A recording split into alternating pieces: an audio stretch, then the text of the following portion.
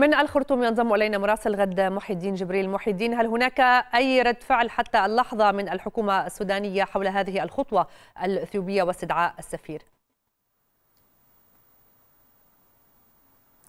آه مساء الخير يارا حتى مساء. الآن آه لم ترد الخارجية السودانية ولم تعلق على هذه آه المعلومات أو هذه الأخبار التي تناقلتها مصادر ووسائط موثوق آه، فيها.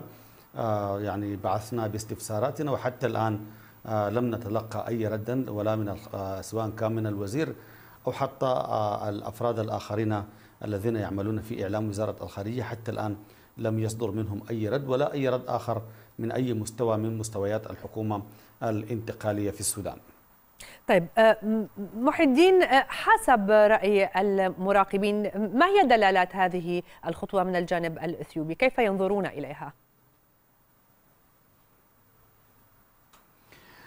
آه هذه الخطوة تعتبر أول مراحل ربما التصعيد الدبلوماسي بين البلدين ولعل الخرطوم وأديس أبابا يعني أوضاعهم الداخلية لا تؤهلهم لأي تصعيد آه، يعني كبير على آه، الحدود وهم ليسوا على استعداد للدخول آه، في حرب بين البلدين. ولكن في طبيعة الأحوال هذه الخطوة تعتبر ربما تنبيه من أديس أبابا للخرطوم باعتبار أن هنالك تقارير تتحدث عن أن الجيش السوداني اجتاح عدد من المواقع واستولى عليها عدد من المواقع المختلف حولها والتي كان يدور حولها تفاوض في الفترة السابقة وهو خلاف على وضع العلامات الحدودية بين البلدين.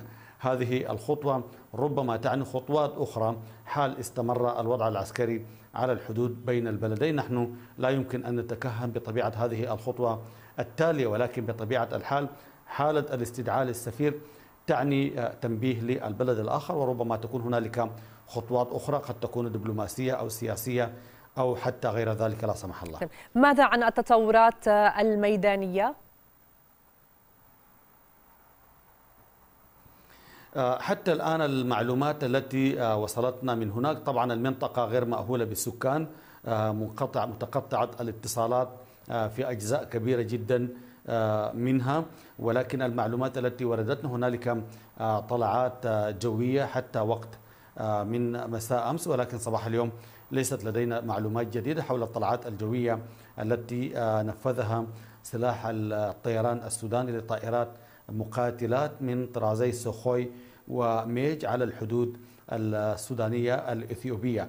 أيضا هنالك آه، معلومات مؤكدة عن عملية انتشار واسعة للجيش السوداني وتعزيزات آه، إضافية وصلت لأسلحة مختلفة من قطاعات الجيش السوداني قد وصلت بالفعل إلى آه، ولاية القضارف وأعادت انتشارها في عدد آه، من المواقع. نحن تحدثنا مع مصدر عسكري من الحدود وأكد لنا نعم هذه محيدين. المعلومات بأن تعزيزات كبيرة وصلت إليهم بالفعل في الحدود.